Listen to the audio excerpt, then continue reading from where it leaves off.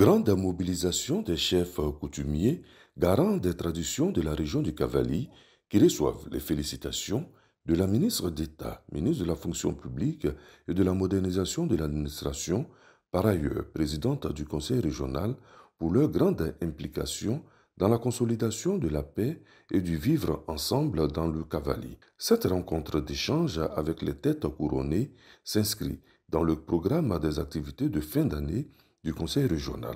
Elle donne l'occasion à la présidente de ce Conseil de marquer sa politique de proximité avec les populations. Chef euh, de canton, chef de village, chef de tribu, chef de communauté, que vous soyez de Guiglo, de Blolequin, de tout de Taï, je tiens vraiment à vous dire merci. Dans chaque département, dans les campements, dans les villages, face aux menaces de crise communautaire, vous vous mobilisez toujours. Vous dis merci parce qu'il fait bon vivre dans le Cavali. Nous devons maintenir le cap et nous devons continuer d'adresser nos prières et bénédictions pour le président de la République, pour notre région.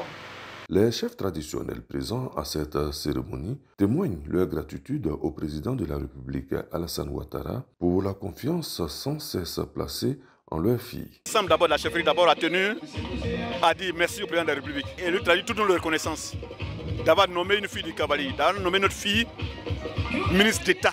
On a tenu vraiment à dire merci au président de la République, notamment d'aller le croiser lui-même à Abidjan, avec lui traduire de vive voix vraiment nos remerciements. Elle a fait de nous des chefs de village d'État parce que euh, nous sommes les, les pères de la ministre d'État.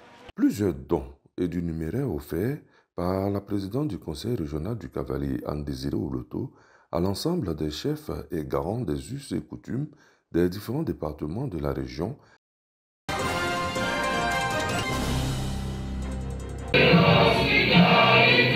L'hymne national comme trait d'union, ils sont plus de 300 membres du comité décisionnaire issu de la plateforme pour l'engagement citoyen en Côte d'Ivoire réunis à la faveur de la 4e Assemblée générale ordinaire dans cet hôtel.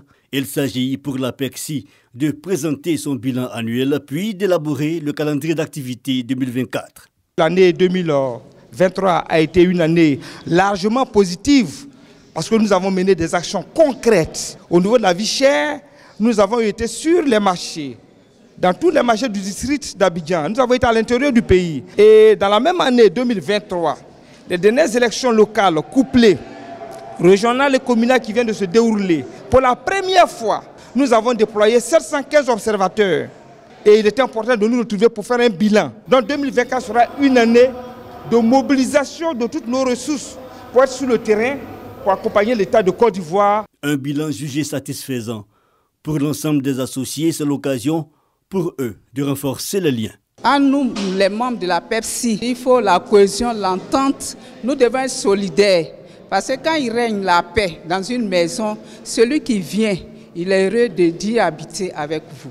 La PEPSI continuera de s'engager par rapport aux actions menées par le gouvernement, soutenir les actions et puis aussi relever les points qui, qui seront un peu en, en déphasage. Créée en 2019, la plateforme pour l'engagement citoyen PEXI contribue à la préservation de la paix dans la société.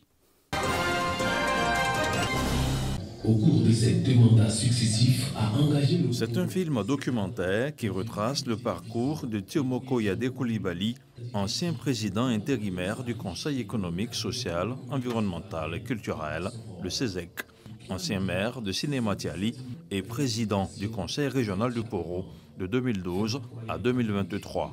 Parcours inspirant d'un homme exceptionnel, c'est l'intitulé de cette production cinématographique de 12 minutes, un film présenté officiellement par le réseau des communicateurs de l'émergence, le Record. Le parcours et la riche expérience professionnelle de M. Koulibaly Timoko Yade témoignent même de l'utilité et de l'opportunité de ce film.